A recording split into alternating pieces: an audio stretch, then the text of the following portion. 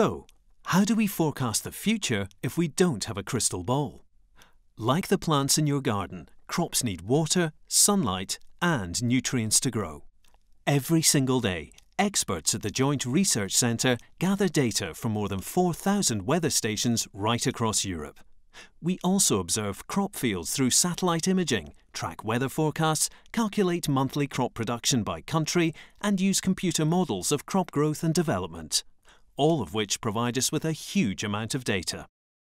To bring this information together, we use something called the Mars Crop Yield Forecasting System.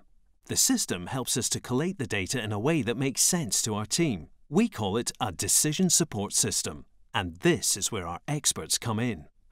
Based at the Joint Research Centre in Ispra, Italy, our team uses its combined expertise in meteorology, agronomy, information technology and analysis to interpret the statistics provided by the forecasting system.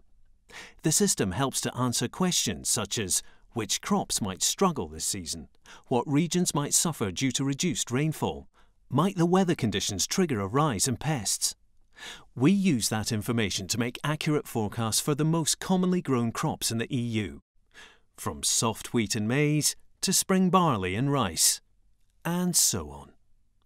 Our team publishes its findings every month in the Mars Bulletin, available to all for free on the web.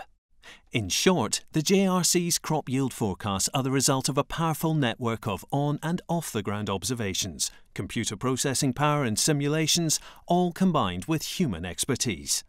Together, they help forecast the future of crop production in the European Union better than any crystal ball ever could.